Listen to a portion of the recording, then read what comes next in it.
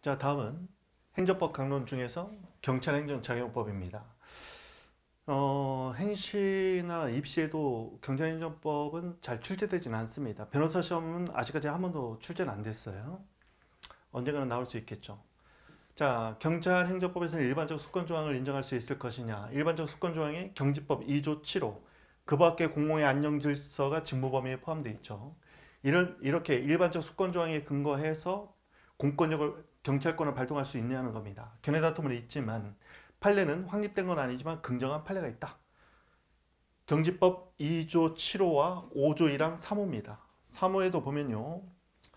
자, 보면 필요하다고 인정되는 조치 특정되어 있지 않죠. 어떤 조치인지. 이런 걸 일반적 수권조항이라고 부릅니다. 수권, 권한을 줘요.